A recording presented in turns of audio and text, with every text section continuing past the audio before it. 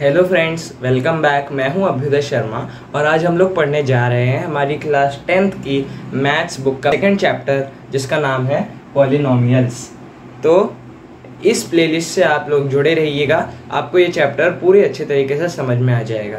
तो आज हम देखने वाले हैं पॉलिनोमियल्स और इसके क्या क्या टाइप हैं. तो सब, हमारे जो अभी सिलेबस में है पॉलिनोमियल जो सबसे ज़्यादा इम्पोर्टेंट है, वो है क्वाड्रेटिक पॉलिनोमियल जिसका एक जनरल इक्वेशन होता है x equal to a x square plus b x plus c where a is not equal to zero अब ये हमारा इक्वेशन हो गया क्वाड्रेटिक पॉलिनोमियल का।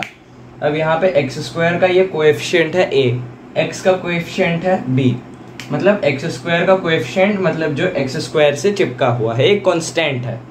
एक्स स्क्वायर का कोएफिशिएंट है ए ठीक है? एक्स का कोएफिशिएंट है बी और ये सी तो पहले से ही एक कॉन्स्टेंट टर्म है। तो यहाँ पे एक्स स्क्वायर का कोएफिशिएंट जो ए है हमारा, अगर ये ए गलती से भी ज़ीरो हो गया तो देखो अगर ए ज़ीरो हो गया तो क्या होता है?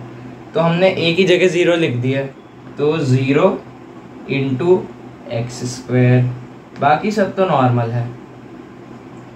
तो अब ये जो पॉलिनोमियल बन जाएगा ज़ीरो इंटू एक्स स्क्वायर क्या होगा? ज़ीरो को किसी चीज़ से मल्टीप्लाई करो तो आंसर आएगा ज़ीरो तो आ गया हमारा जो ये ये आ जाएगा हमारा पॉलिनोमियल यानी कि बी एक्स प्लस सी अब इस पॉलिनोमियल की डिग्री क्या है?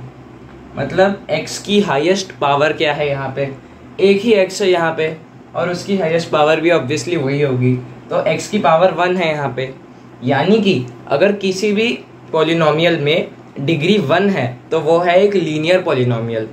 यानी कि अभी एक लीनियर पॉलिनोमियल है। लेकिन अगर ए की वैल्यू हम ज़ीरो नहीं डालते तो ये हो जाता है एक क्वाड्रेटिक पॉलिनोमियल इसीलिए हमें बताया जाता है जनरली कि ये अगर एक a x square plus b x plus c एक क्वाड्रेटिक पॉलिनोमियल है where a is not equal to zero तो ये हमारा क्वाड्रेटिक पॉलिनोमियल ये हमारा लीनियर पॉलिनोमियल